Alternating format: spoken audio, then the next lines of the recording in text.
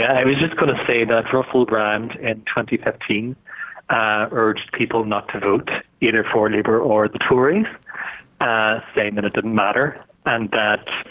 And subsequent to that, Ed Miliband, the party leader, met with him, and he changed his mind.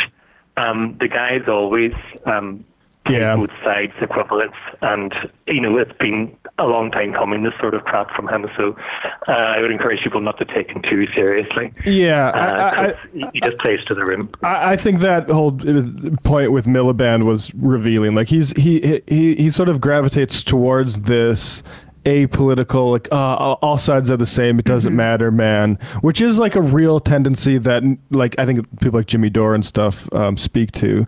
Um, and but like I do think like genuinely like he's a guy who like I guess what they call it signed on in the UK. Like he, he was benefit of, of beneficiary of welfare policies. He wasn't rich growing up, as far as I understand.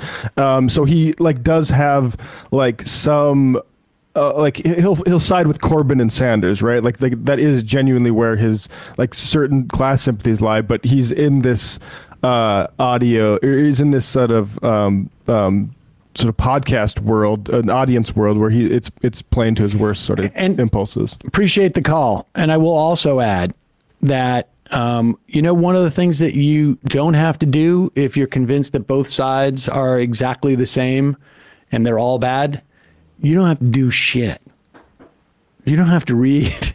You don't have Yeah. to think about this stuff. It is completely knee jerk. It is completely knee jerk. You can sit there and say, you know, um, a, a statistic 50,000 people die a year because they don't have health insurance. But you also then have the ability to completely ignore the fact that like 600,000 more people just got health insurance because of a tiny little provision that we never even really contemplated in the uh, American Rescue Act. Like, you know, both those things you can sort of like ignore one of them because you don't really care. At the end of the day, you don't really care.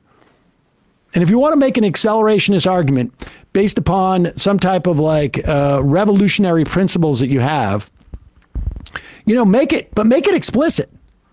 How many people have to die to convince people that people shouldn't die? And also cite some examples as to why you think that's going to work. The accelerationist argument was why Donald Trump was going to be so helpful for everybody. And you can go back to uh, the debate that I did with uh, Jimmy Dore at that time, only because that's the, you know, but I, I was making this argument throughout that entire summer. I've been through this before. I've been through it after Reagan. I've been through it after Bush.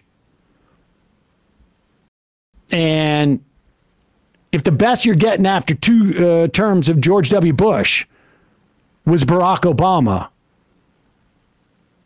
you weren't going to get much better after Donald Trump. Biden was like marginally better than I thought it would be, frankly. But I think it'd be garbage. And it just doesn't work that way.